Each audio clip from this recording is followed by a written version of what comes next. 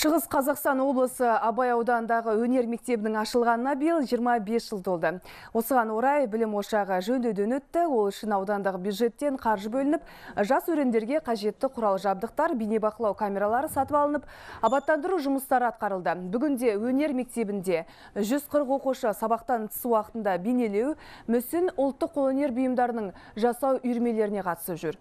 Олардың арасында республикалық тіпті халықаралық байқаудан олжалы оралған жеңімпаздар да бар.